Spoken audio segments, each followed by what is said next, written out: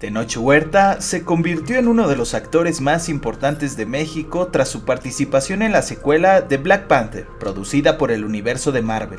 No obstante, todo parece indicar que, pese a su fama, el artista aún mantiene los pies sobre la tierra, pues fue captado realizando un viaje por el metro de la Ciudad de México.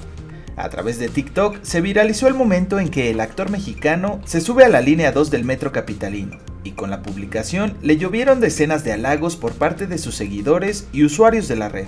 A pesar de su apretada agenda, se dio un espacio para volver a sus viejos tiempos cuando no era famoso y viajaba como un ciudadano más de la capital mexicana. Yo tomaba clases por acá y siempre me venía en personaje aquí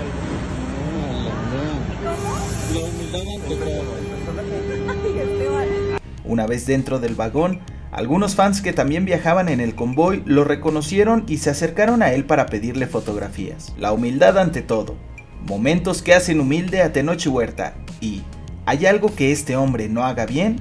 Se lee en la sección de comentarios del video.